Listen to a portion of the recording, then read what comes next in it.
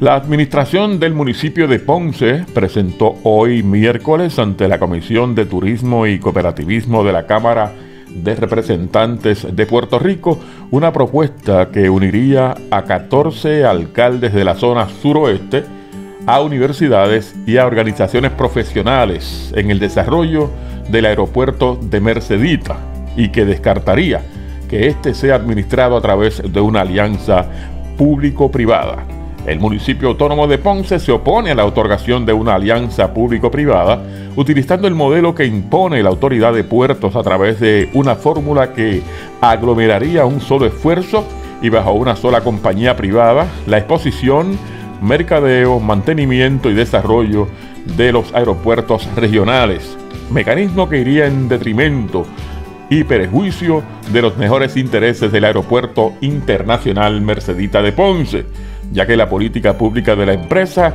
que dirija la alianza público-privada estaría asumiendo la misma postura que por décadas ha permeado en la autoridad de los puertos.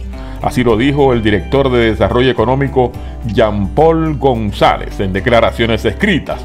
Los municipios que conformarían el consorcio serían Jayuya, Santa Isabel, Peñuelas, Juanadías, Guánica, Guayanilla, Salinas, Adjuntas, Sabana Grande, Villalba, Coamo, Yauco y Lajas. El proyecto se dio a conocer hoy en una vista pública de la Comisión de Turismo y Cooperativismo de la Cámara de Representantes de Puerto Rico, que atiende la resolución número 256 para conocer los planes de la Autoridad de los Puertos de Puerto Rico para administrar el Aeropuerto Internacional Mercedita. Tanto González como el director de turismo del municipio de Ponce, Iván Yuye Rodríguez, se ampararon en los beneficios económicos y turísticos que representaría para los municipios sureños el desarrollo del aeropuerto regional.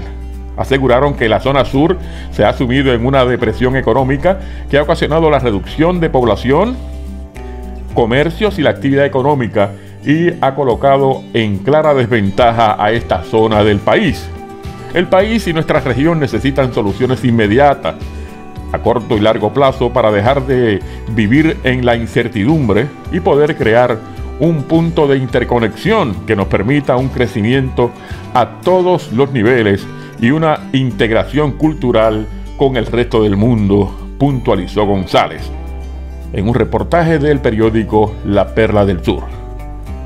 Esto es F Radio, lo dijo Junior Muñiz, con el auspicio de Café Bakery en Yauco 787-856-8289. El desvío número uno detrás del Yauco Stadium en Yauco 856-2215. M&M Autoservice en Yauco 787-267-3136. El desvío número 2, carretera 116 en Lajas 787-827-8422. Gemelos Autopart en Cuatro Calles Yauco 787-913-0000.